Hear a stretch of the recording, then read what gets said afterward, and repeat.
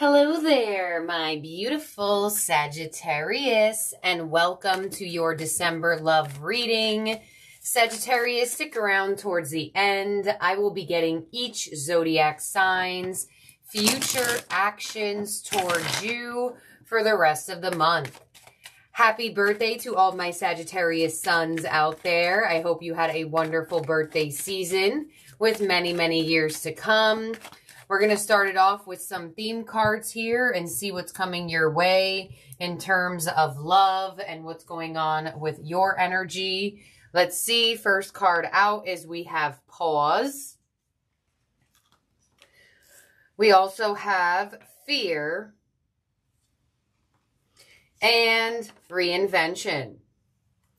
All right. So I feel like for a lot of you Sagittarius, especially if you are single, I feel like you are definitely putting a pause on love to focus on yourself.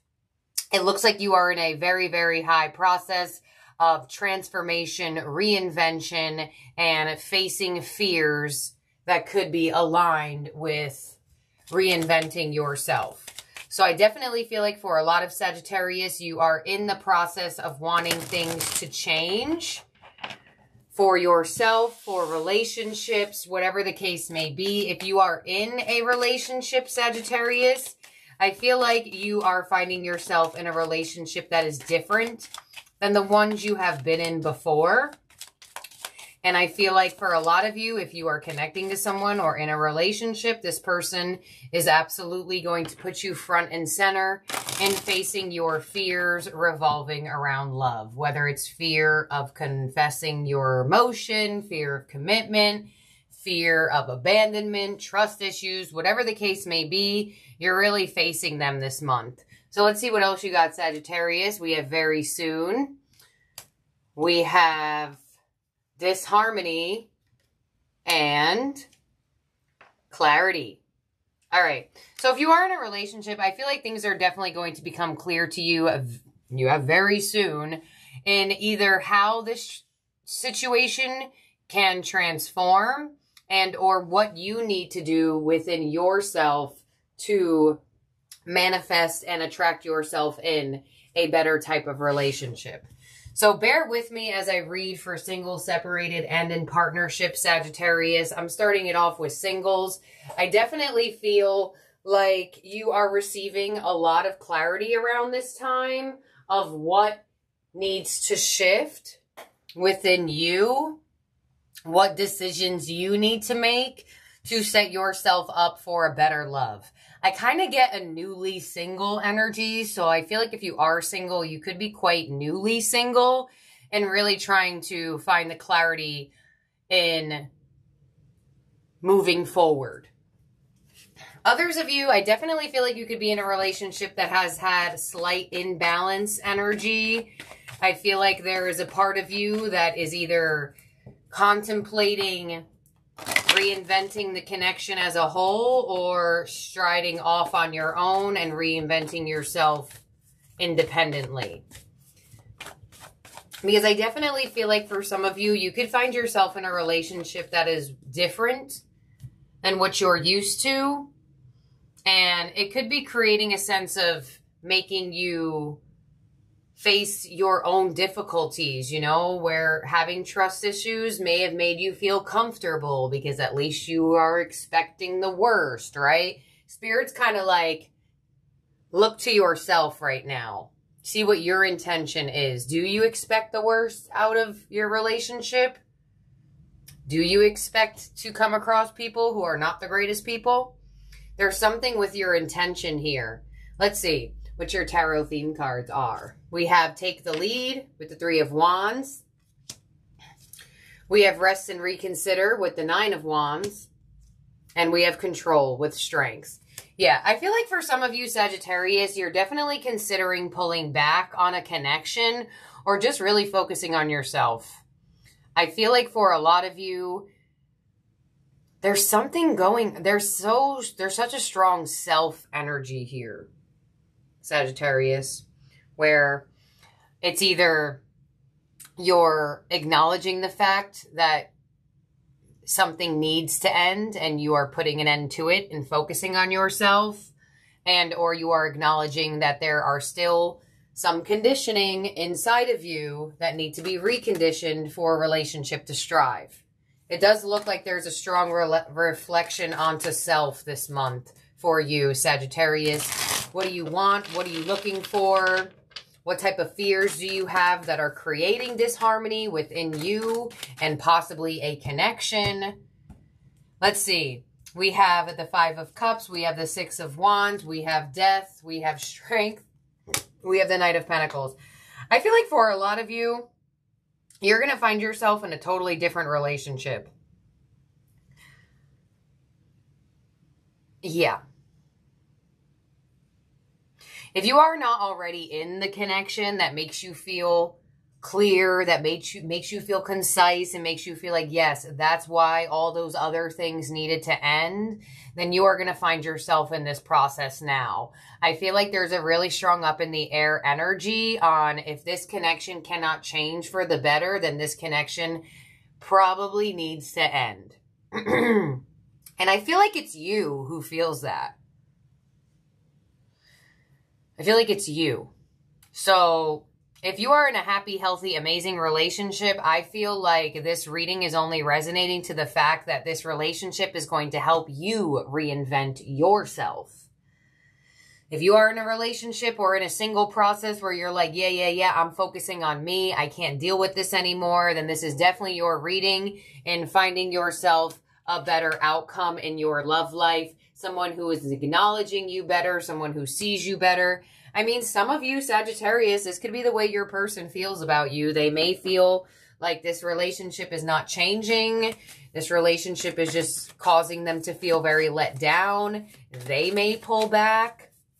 But for some reason, it definitely looks like there is a pullback energy. So I feel like this person is scared to lose you but I feel like they're not doing anything to keep you either. And others of you that are in healthy relationships, I feel like you're going to go through a process and see just how strong certain past experiences were conditioned inside of you that now need to change. Because a lot of you are with someone who is not a liar, they're not a cheater, and they don't deserve that to be projected onto them because of your past. Others of you, this is something that you need to get yourself out of. If you know for a fact you're with somebody who doesn't have integrity, that doesn't tell the truth, then it's time to find clarity on that and pull back and be patient for something better to come your way. So very interesting reading you have here. It's very strongly about self, I do have to say. Despite there could very much be another person around you, it looks like no matter what, there's a focus on self. So let's get to the second half of your reading here, Sagittarius, each zodiac sign's future actions towards you. You have strong Leo in your energy. So some of you, Leo energy around you or in your chart or could be the person that you end up being with after the fact. Um, so let's see what we got going on here, Sagittarius. We have Aries, future actions towards you are the Five of Wands. Some of you may find yourself in some sort of argumentative or conflictive energy with an Aries around this time. Could also be that there's other people around. There could be external influences causing drama, but there definitely could be some challenge between the two of you this month. Next up is Taurus with the Seven of Wands. Could be dealing with a slightly defensive Taurus or a Taurus who's type kind of like beating around the bush, not telling you everything, um, choosing their battles wisely, could also be stubborn sometimes. Next up is Gemini with the Five of Pentacles. I feel like some of you may be neglecting a Gemini or Gemini feels highly neglected from you. Some of you, a Gemini, could be abandoning you as well and making you feel neglected, unacknowledged. It definitely looks like there could be some sort of abandonment there. If there has not already been, Five of Pentacles to the Four of Cups. Yeah, a lot of you may feel very ignored by a Gemini. You feel like your needs and your wants are not heard by this person. Next up is Cancer with the Three of Pentacles. So it looks like Cancer is highly interested in working together with you, showing you that you two can be compatible. Some of you, you could work actually, with a Cancer. Um, some of you, a Cancer could be reaching out to you to compromise, have closure, to work things out.